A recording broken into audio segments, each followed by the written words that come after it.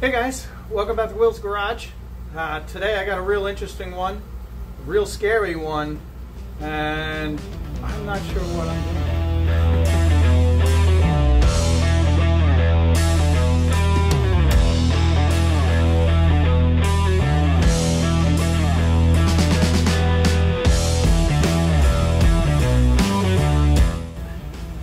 Alright, before I get started, don't forget to like, subscribe, hit that notification bell so you know every time I post a new video.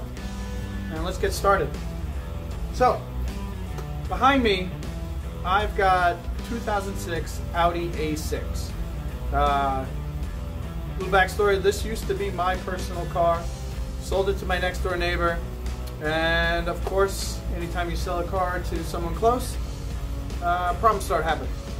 This one, nothing super major. Started leaking a little oil. Um, when I got to looking at it though, uh, the oil's coming from the back half of the motor. Um, leak dye in it. The best thing I could see was it's leaking from the rear timing cover. Uh, I always knew this made somewhat of a timing chain noise, a cold start, but uh, it was usually like a split second and then it was fine, so I never really worried about it. Uh, when I got the rear cover off though, I could see the driver's side upper tensioner um, assembly. I call it assembly because it's a big aluminum assembly. It's got three guides on it. Two of the guides themselves are, are missing uh, the ends of them essentially. So the chain on that side's a little slack. So uh, that's what I'm hearing when you start this thing up real quick. Uh, you're hearing the slack in the chain before the hydraulic tensioner can take up that slack. Um, what I'm going to do today though um, is I'm going to put new guides on this, uh, new upper tensioners on this, uh, clean everything up, um, and basically try to reseal the motor at the same time. Uh, like I said, it, it, had an oil leak, so uh, getting the rear timing cover off, uh, I had to remove the um, oil filter assembly, uh, which is where I think the main oil leak was coming from, um, as well as the rear timing cover, the upper covers. So right then and there, I mean, that's four major seals that I'm going to be resealing. Uh, the other thing I'm going to do is I'm going to pull up the cam girdles and I'm going to reseal those because there's a little bit of oil in the spark plug holes on a few of the cylinders. So I already have the, the engine out of the car, the transmission off of the engine. Um, don't have to go this far. you have to separate the engine and the transmission at least to get to the timing chain if you're doing a timing chain job on this thing. Uh, I have seen some guys that have done just the upper uh, tensioner assemblies with the engine still in the car. Um, but like I said, I'm also resealing the engine, so it was just easier for me to drop the entire drivetrain um, so I can get to everything on the engine. So uh, let me show you guys now what I have done so far and try to bring you guys up to date. All right, as you can see here, I've got both upper covers off. I've got the main uh, lower timing cover off as well. All the chains are still in place. Um, I've got the valve covers off on both sides. Um, this is probably something I should point out. Um, this here is a tool to lock the camshafts uh, at top dead center for timing purposes. There's one for uh, each side, as you can see on that side. Um, you could buy these relatively cheap. Uh, I think I've seen them as cheap as maybe $40 for the pair and the tool that locks the crankshaft underneath. Um, I just made them. I have access to a machine shop. I just put them on the bridge, uh, piece of aluminum on the Bridgeport, machined it out. Um, and now I have two cam locking tools. I'm using a drill bit here to lock the uh, balance shaft. This is the PTO chain uh, assembly here. Uh, I am reusing the chains. You know, like I said, the only thing that was really the issue, and I'll show you guys here, uh, the back half of this uh, guide is missing, so you can see the slack in the chain there, and the same for the top one here. So, I mean, you can see this. This is This is literally what they were hearing when you start the car cold. No oil pressure until the oil pressure comes in and the chain takes up the, the slack. You're hearing this chain rattling around in here. So the guides themselves are actually in really good shape. There's just about no wear on them, but I'm replacing the main timing chain uh, guides here, here, here, uh, just because looking from this one on this side, they are very brittle. Uh, I don't want them to break, uh, but the chain itself, uh, you know, I don't think it's stretched very far. I'm not really worried about it so much. I'm going to be using, uh, well, Volkswagen and Audi's online technician program. It's called Elsa Pro. So, you know anyone that's in a dealership, um, this is what a dealer technician has access to so they can see how to uh, properly disassemble, time, seal, whatever you need to know. All that information is there. I'll try to post some of that information in the description as I can. Uh, you know, a lot of it is pretty much copyrighted, so um, you know I can't just post anything. But I try to post the important stuff like. Uh, if I can, I'll post the, the sequences to torquing things down, uh, I'll definitely post torque specs at least and the sealant I use to seal everything back up. Uh, I can even put part numbers for the, um, the guides and stuff like that that I'm using. Uh, one of the other things I thought was very interesting, I'm going to mention the upper tensioner guide assemblies. Um, they're made by a company, INC, um, and for the for the OEM part, the factory part. Uh, I got aftermarket ones that were labeled INC uh, for hundreds of dollars less. The only difference is they machine off the part numbers. they machine off where it says Audi, Volkswagen, they machine off the part number, but it still says INC. So just keep that in mind. Uh, if you have to do this job yourself, you're going to save a lot of money by using an OE part uh, instead of the OEM part. Um, all right, so I'm gonna try to set up the camera. Uh, first thing I gotta do is I'm gonna take off the upper uh, cam phasers so I can get the chain off of uh, both uh, cylinder head banks uh, because I want to remove the cam girdle. Like I said, I'm also resealing this motor, so um, I'm gonna remove those guys first, get the cam girdle off, and then start taking some of the other timing chain components apart. Uh, actually, I take that back. I'm probably going to take the PTO chain off first. Then I'll take off the upper phasers so I can get everything.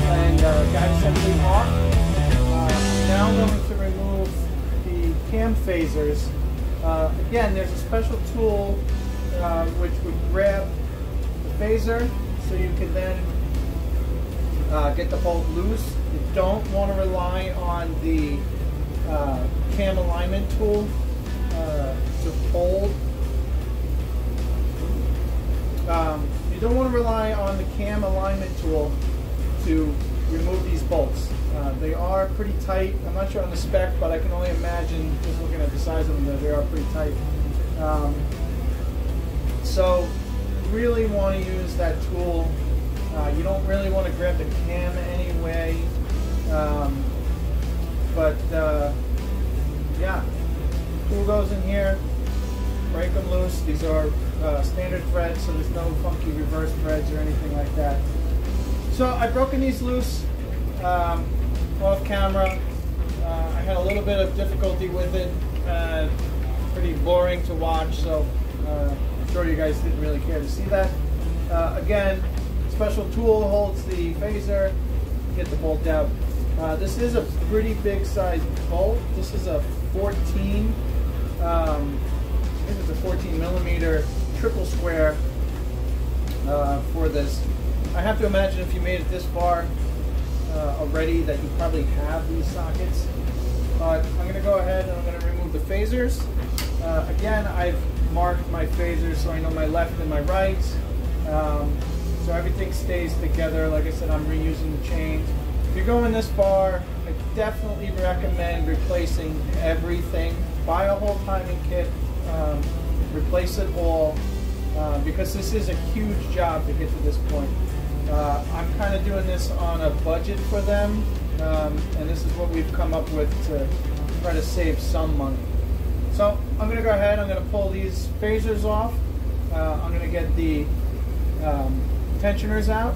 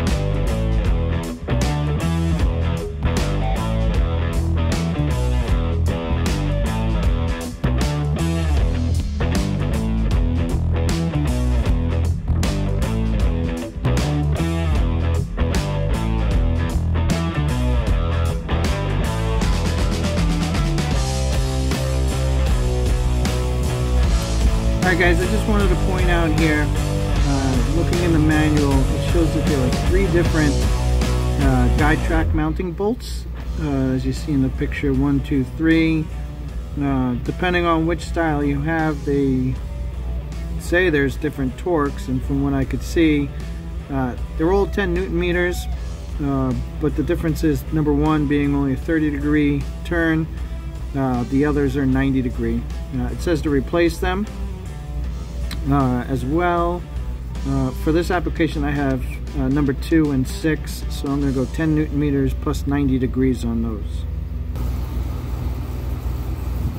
Okay so like I showed in the picture showing uh, the torque spec and your bolt these are the bolts I have um, so these were tightened down and then an additional 90 degrees for all three guides and I've replaced all these uh, guides these little factory guides here. Um, the tensioner here uh, which is hydraulic uh, this gets 6 newton meters and an additional 45 degrees on those bolts. Uh, but at this point my crank is locked. My main drive chain is in place.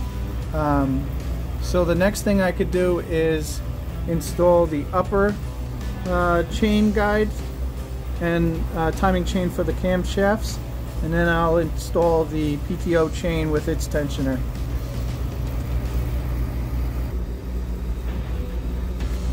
Okay, so this is my left side uh, cam guide tensioner assembly. Uh, it takes six bolts. Uh, I have all my bolts laid out here. I'm going to put Loctite on all these. Um, the holes in the cylinder head. I've cleaned out with brake clean as well.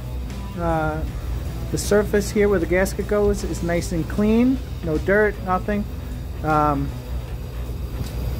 you've already seen I've put the main drive chain on. So what I'm going to do is I'm going to put the guide tensioner into place, get the bolts started, get my chain just draped around. And then I'm going to position in my upper cam uh, phasers. Um, make sure you use new bolts for these. Uh, off the top of my head, I think the um, torque spec is 40 newton meters, then 80 newton meters, then an additional 90 degrees. So these do need to be tightened very tight, and uh, that is a torque to yield bolt. So it's always a good idea to replace the bolts when you uh, replace these. So I'm going to go ahead, start installing this guy, and then I'll come over to the right side and do the same thing.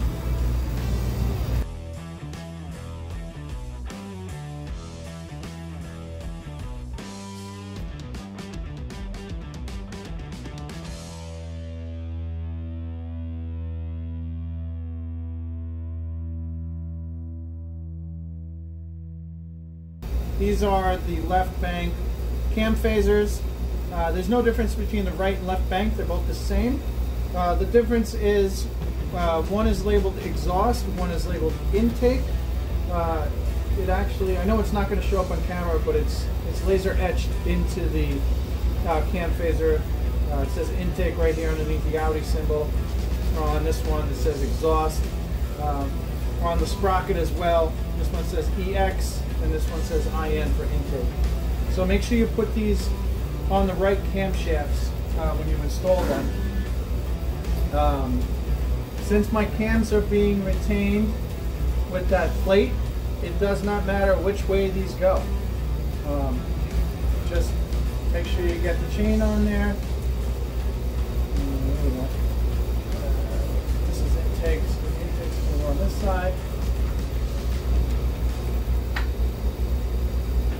And this is exhaust.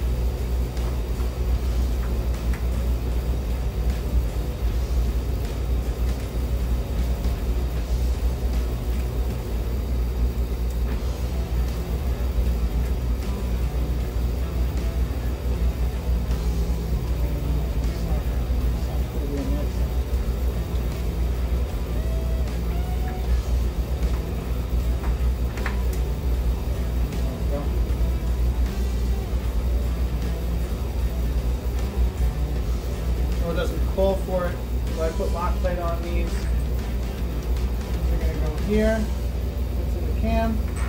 And with any torque yield bolt, it's a good idea to put uh, a little bit of oil on the flange side of the bolt. It'll make it easier when you're doing your torque and your uh, torque yield. It also gives you a better torque uh, or a more accurate torque on the bolt. So I'm going to run these down. I'm going to tighten these. Uh, at least just run them down for now. I'm going to get the right side uh, chain tensioner and phasers in with the chain, uh, tighten everything up, and then uh, I'll show you guys how the PTO chain goes on.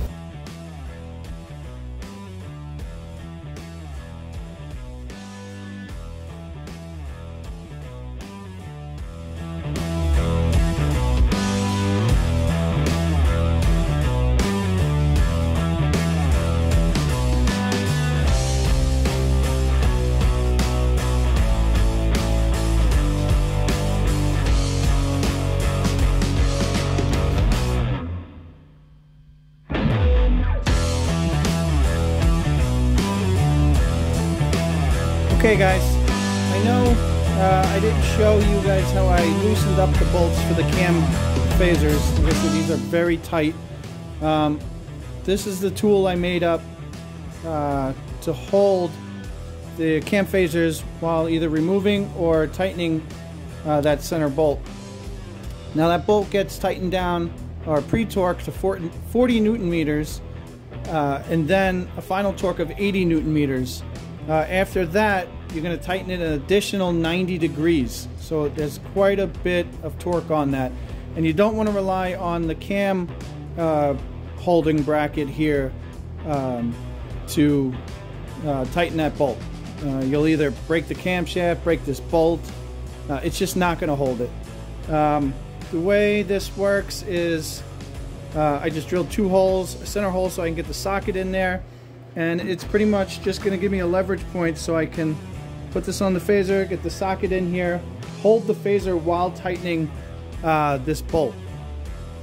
Uh, the one thing I need to uh, mention to you guys is when you are tightening this, the pre-tension, you need to make sure you're rotating the phaser clockwise.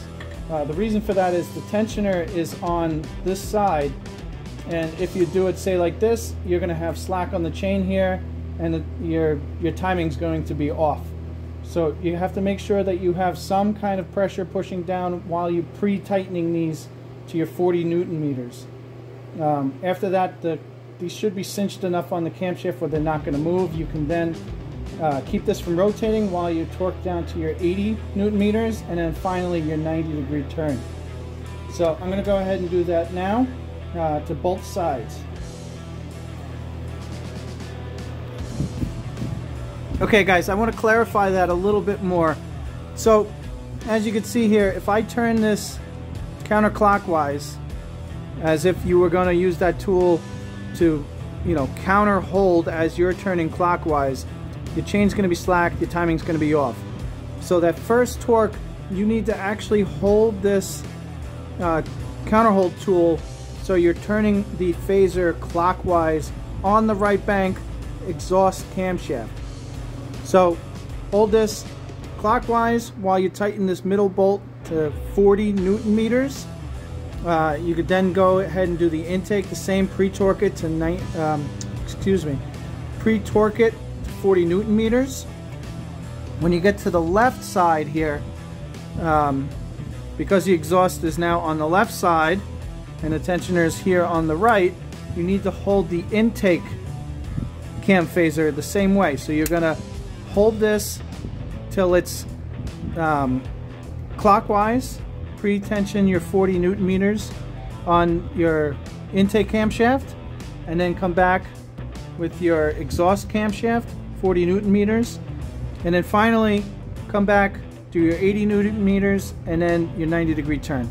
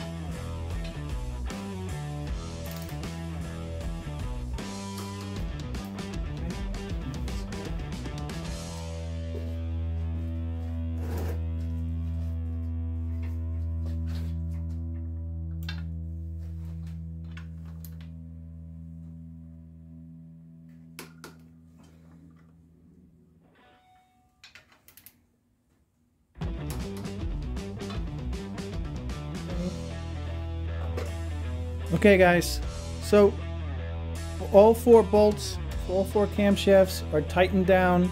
The initial 40 holding the exhaust camshaft on the right side cylinder head clockwise so you could tighten both of these. Keep the tool in the exhaust camshaft holding counterclockwise, I mean holding clockwise while you tighten this bolt as well as the intake bolt. Don't move the tool for the initial torque. On the left side, you're going to hold the intake clockwise, pre-tighten two center bolts, 40 newton meters.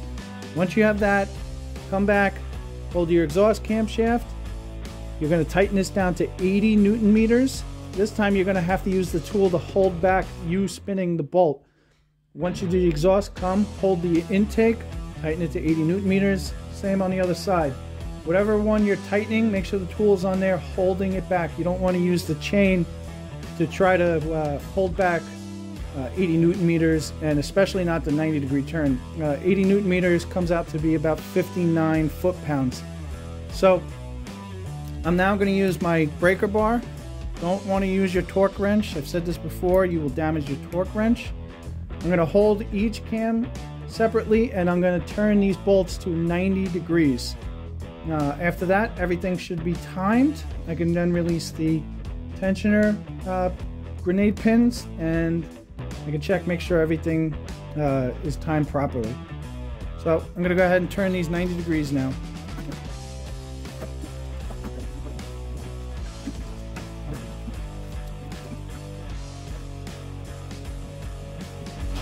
Okay guys, last bit of this timing chain setup is the PTO chain chain that ties the balancer to the crankshaft and drives the oil pump. As Audi calls it, the PTO. This is the PTO chain. This is the PTO tensioner. It's just a couple pieces of spring steel here. That's what tensions it. Um, put this guy back on. Like I said, you got to use the drill bit or the special tool if you have it to hold the uh, sprocket into place. Uh, if you do remove the socket, like I said, the bolts have to be centered in the slot. Um, other than that, uh, there's not much else. The, the PTO shaft that drives the oil pump, that doesn't matter where it is. Uh, but we're going to go ahead and put this guy on. Start on the balance shaft here. That's going to go into the crankshaft.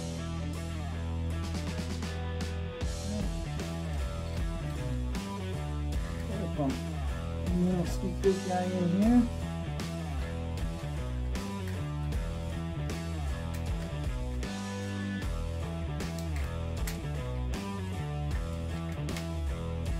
So,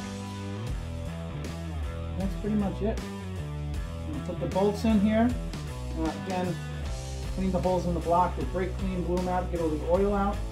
Uh, my bolts are clean and dry. Put Loctite on those uh, install these and then torque the spec. The torque for the bolts that hold the tensioner on, uh, it depends on the year uh, engine it is uh, and obviously the style tensioner. Uh, this tensioner in particular gets 10 newton meters to those bolts and then an additional 45 degrees. So I'm going to put these bolts in, like I said, with some Loctite and tighten those down. Okay guys, I mentioned this earlier. Uh, now up to the steps since all my timing chains are installed. Uh, as you can see in the picture, this is the dowel pin on the right side cylinder head.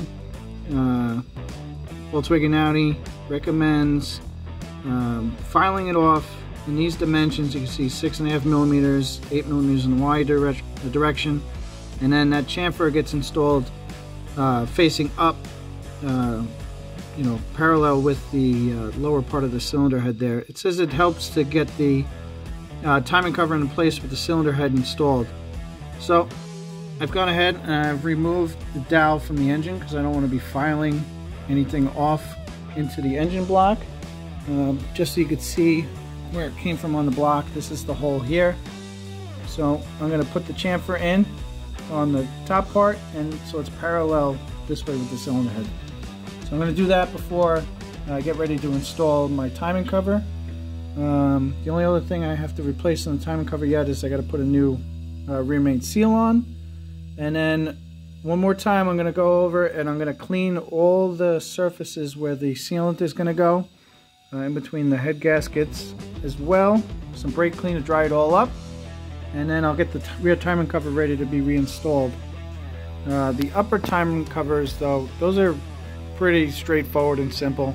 I'm going to put sealant on the cover itself, uh, the same 1 millimeter bead all the way around, and then the T30 uh, Torx bolts just hold the covers on both sides.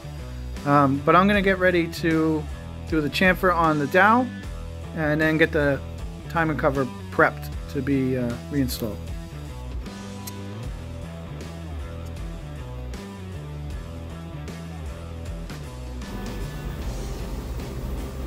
Okay, I don't know if I can get this to focus.